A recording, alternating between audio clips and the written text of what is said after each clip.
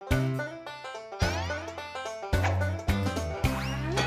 you believe that fixies are such itty bitty creatures? Even when they're magnified, It's hard to see their features. They're tiny, infinitesimal, so small it makes you doubt. But if you meet a fixie, please don't let their secret out. But if you meet a fixie, please don't let their secret out. Don't let their secret out. The compass.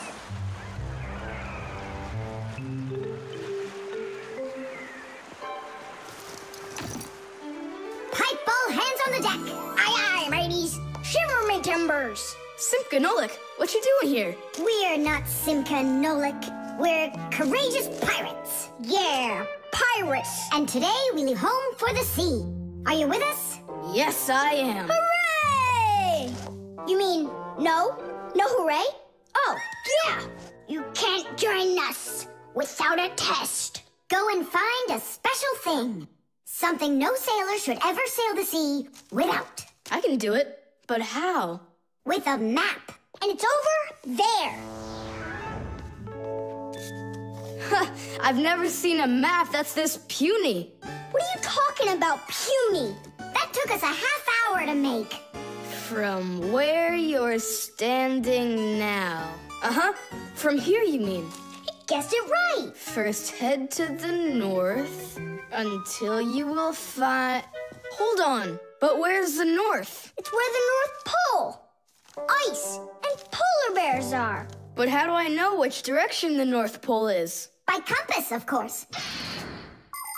A compass is a special tool that helps sailors and pilots know in which direction they're traveling, whether in the air or on the sea. Our planet is like a big magnet that has two poles. The North Pole and the South Pole. These magnetic poles help the needle in the compass find its way. The needle is magnetized, so one of its ends will be attracted to the North Magnetic Pole and point at it, while the other end will always point towards the south. That I know, but there's no compass around here. Then let's make one by ourselves. Out of what? We can use a needle. We just have to magnetize it And how's it supposed to turn around? in a saucer of water.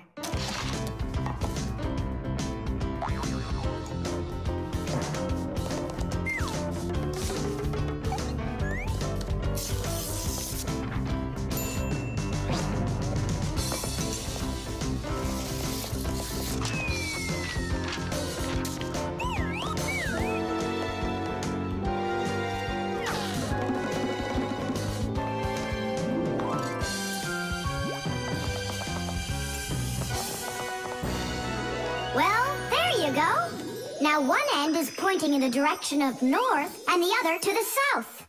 But which point's where? Well, there's the window. So that can't be the right way. The north is there. I'm really liking this sharp little fellow we've got here. You calling me a little fella? No, it's just the way us pirates talk. All right then, north we go. First, head to the north until you see a sleeping monster. Mateys ahoy! On the horizon! Let him do it himself. He hmm. Now turn to the left and go 300 paces more. 300? Exactly. I counted on myself. Uh huh. Okay, then that means I'll go one, two, three. Now straight ahead until you get right up to the giant tree. you call that a tree? Wow, amazing! I can't believe my eyes. It's a real ship compass. It's also called a marine compass. The first compass was invented more than a thousand years ago in ancient China. With its help, the Chinese were able to travel across the desert. And about 200 years later, the compass appeared in Europe. Whether the Europeans came up with the idea for the compass themselves or took it from the Chinese isn't clear. But one thing's for sure, we fixies remember how those early compasses were built. The first compasses were made with a magnetized needle on top of a floater inside a bowl of water. Later, the needle was put on top of a pin that let it spin freely, and it started to look like the ones we use today. Since the needle of a compass always points to the north, a sailor can easily figure out which direction he needs to turn his ship. If he wants to go north, he follows the needle north. If he wants to go south, he goes in the opposite direction. Your dad brought it home with him late last night from his work. You were asleep. Hold on. I want to check something.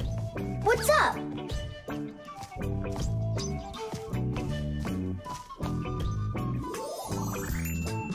Yeah, they line up together. Of course they line up. If not, how else would you have gotten here? We're done with the needle. It has to go back. First head south 600 paces. Six for you, matey.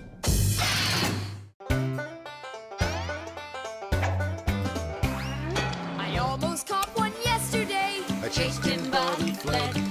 But if I told my dad, he'd say It's all inside your head. You really cannot catch them.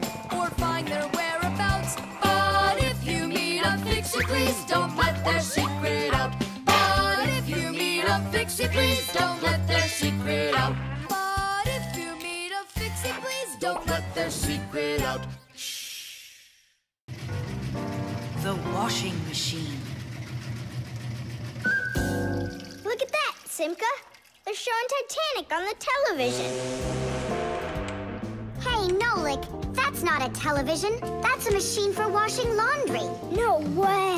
Yeah, it's just a plain old washing machine, Nolik, don't you know? Uh-uh. Tell me about it. You're such a great explainer. Inside of a washing machine is a big drum. People put their dirty laundry in there and add a special kind of soap called detergent. When they turn the washing machine on, the drum fills with water, and then the motor starts to spin the drum.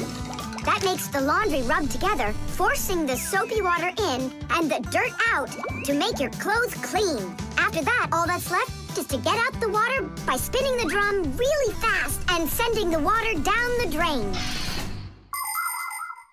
Oh, thanks a lot, Simka. I always wondered, why would you want to put laundry inside a television? Are you joking with me? Uh-huh. oh, I'll show you a funny joke. Get over here. Shh, it's Tom Thomas's mother. She's got headphones on. We're safe. She doesn't hear anything except the music.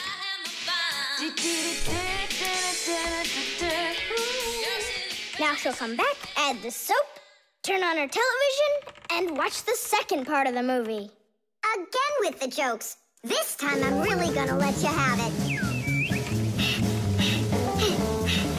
Whoa!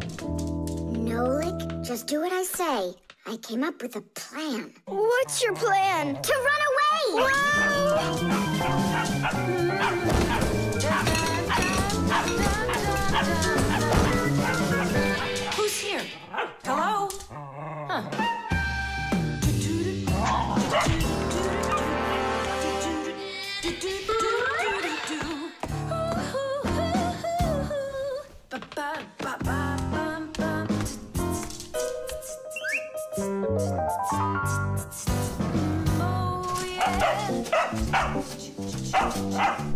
Oh, yeah.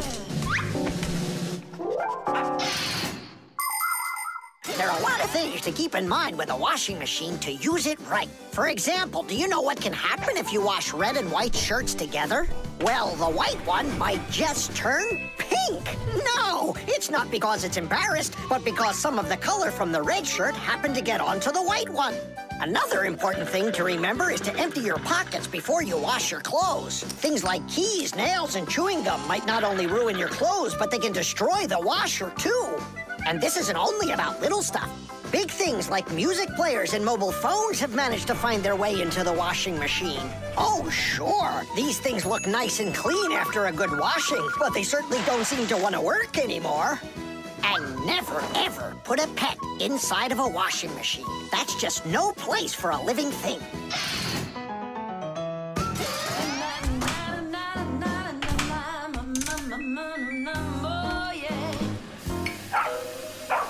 You know what, Simka? I've never been laundered in my entire life. We better get out of here, Nolik, right now. And the faster, the better.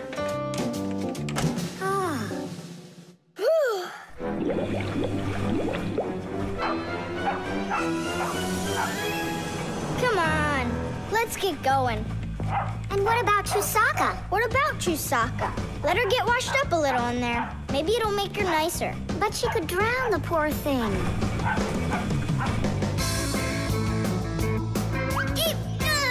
Ah!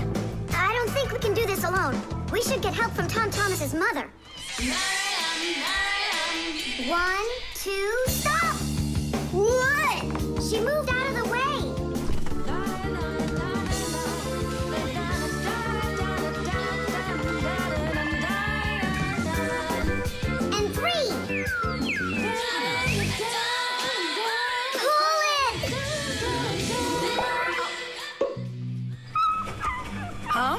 What is that? Oh my goodness! Oh, my sweet little baby. How did you get in there? You wait right here in the tub and I'll go get you a towel. So, you wild little beast. Looks like we saved your life. We're friends now? Nolik sure doesn't look like she wants to be our friend. So what do we do now? Same old plan. Run!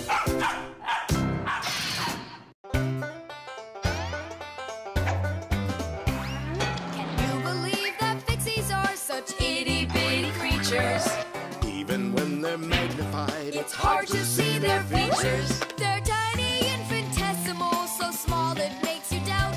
But if you meet a fixie, please don't let their secret out. But if you meet a fixie, please don't let their secret out. But if you meet a fixie, please don't let their secret out. Shh. The music box.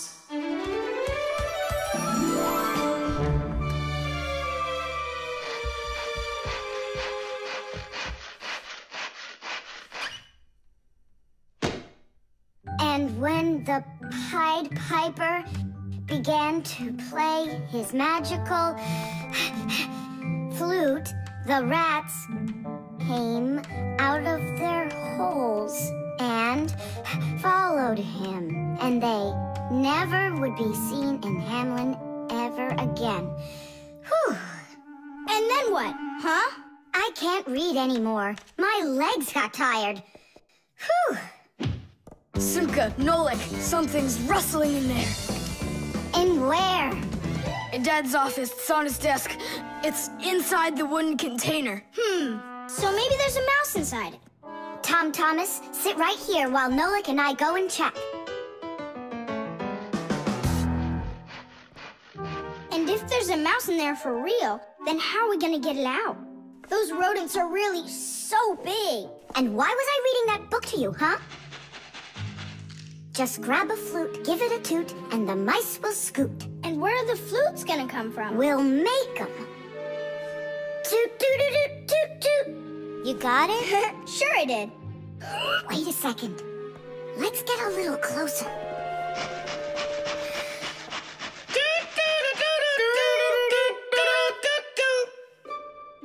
See?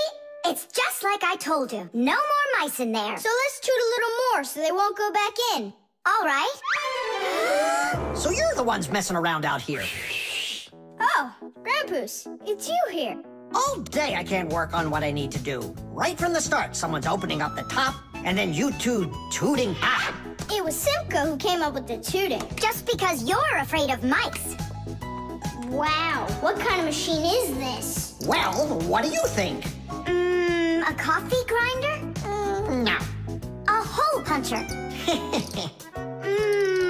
It a foot scratcher? what? Well, a machine for scratching your feet. You're joking all the time, you. It's a music box, and it's just wonderful. Music boxes were invented more than 200 years ago. Inside, there is usually a cylinder with short pins sticking up from it. In front of the cylinder, there is a comb with metal teeth of different lengths. If you pluck one of the teeth, it will make a pleasant sound. A short tooth makes a higher sound, and a long one, lower. When the cylinder spins around, the pins pluck the different teeth, and music plays. Awesome! So what's broken in here? The spring slipped off. It has to be pushed back into the right place. Will you help?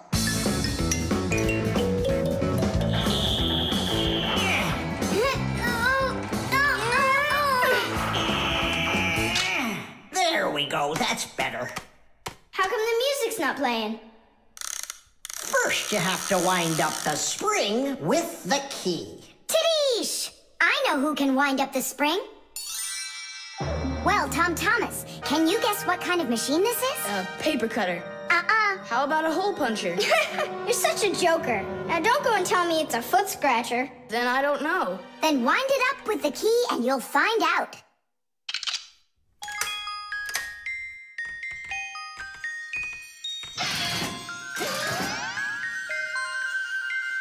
Know how the higher and lower sounds come out? Put a regular ruler over the edge of a table. Hold down one end of the ruler and pluck on the other. The shorter you make the end hanging off the table, the higher the sound will be. The teeth inside of a music box work the same way, and bells work the same way too. The smaller the bell, the higher it rings. The sound of a violin or a guitar depends on how thick the strings are.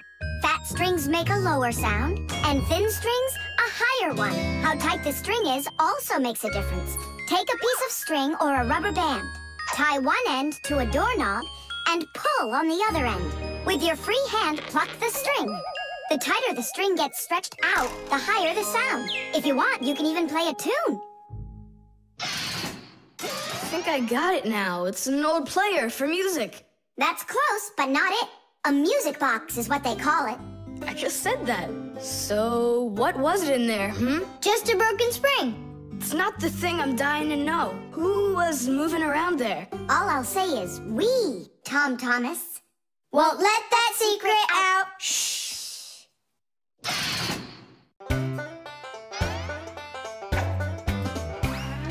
Fixies have a special sign I happen to discover. They each other. They send their greetings to you. They sing them and they shout. But if you meet a fixie, please don't let their secret out. But if you meet a fixie, please don't let their secret out.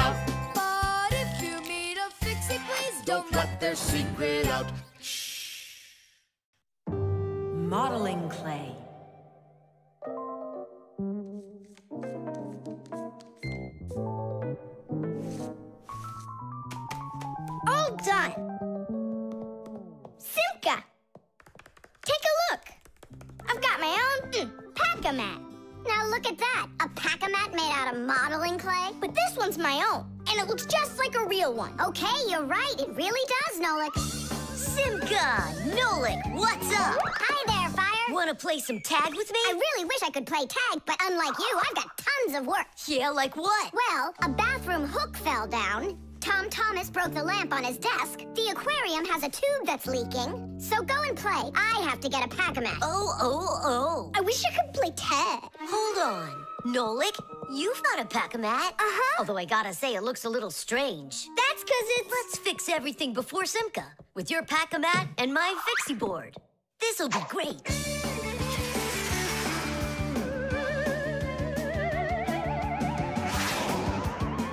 So where is that hook that fell down? All right. Nolik, get out some sticky stuff. From where? Obviously, from out of your pack-o-mat. But it isn't real. I made it out of modeling clay today. Out of clay? Well, it totally looks real. Long ago, back in the Stone Age, people learned how to use clay to make their dishes and sculptures. But the modeling clay that we use nowadays was only invented about a hundred years ago. Actually, modeling clay is just plain old clay with some ingredients added so it won't dry out. And dyes are mixed in to make all the different colors. There is just no end to all of the fun things you can make out of modeling clay. I got an idea. Go on, turn around. What are you doing? Grabbing glue out of your pack-o-mat. All right, get up here.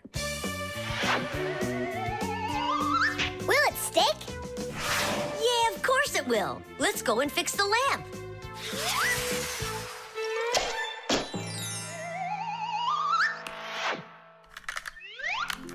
We can't fix this without a real pack-o-mat.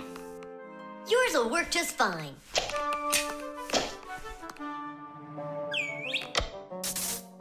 Tadish!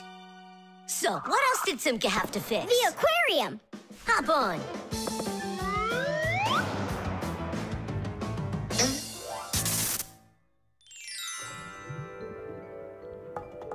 Well, where's that leaky tube? Here, it's leaking at the joint.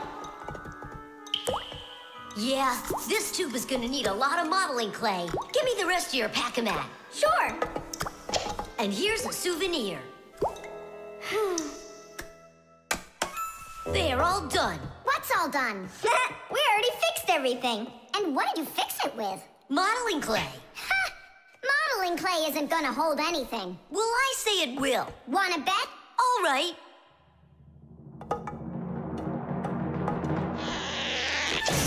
Ah, it's exploding! What in the world is happening here? Flooding water! You just do as I tell you, without panicking. Did you know it's possible to make modeling clay in your own home? Just write down this recipe. You'll need a cup of flour, a half a cup of salt, and a half a cup of water. Now, mix the salt with the flour and add the water little by little. Mix it together really well. What are you saying? That it looks just like dough? Well, that's exactly what it is. It's just not for eating. It's way too salty. But you certainly can sculpt things out of it. If you want your modeling clay to be colorful, you can add food coloring or watercolors to it. That's it. Your modeling clay is ready to be sculpted. When you're finished, don't forget to let your figures dry in the sun. That way they'll get nice and hard and last you a very long time.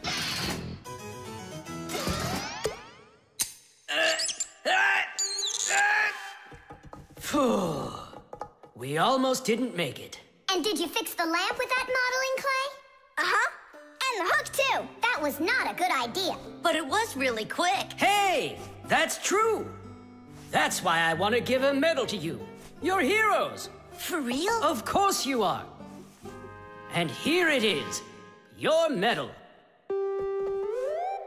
But it's made out of modeling clay. Your reward fits your heroic deed.